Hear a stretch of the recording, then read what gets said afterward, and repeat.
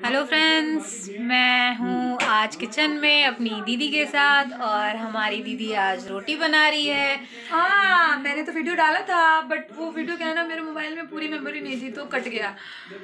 तो जैसा कि मैंने बताया था कि मैं पहले ही लोहियाँ बना लेती हूँ और फिर ये देखिए आप, कितनी जल्दी फटाफट बेलती जाती हूँ और सेकती जाती हूँ। बहुत जल्दी रोटी बन जाती है इससे।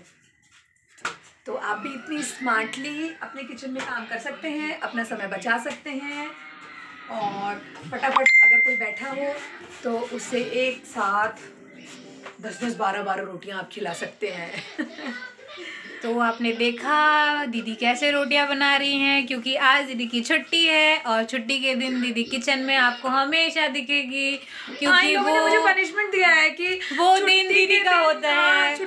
मैं खाना बनाऊँगी, ये भी कोई बात हुई भला। छुट्टी किस लिए मिलती है?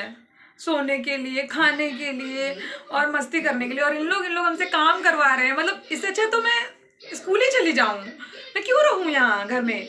किचन का काम करना पड़ेगा। तो आपने देखा, इसका दुख सुना और इसका आपने काम भी देख लिया।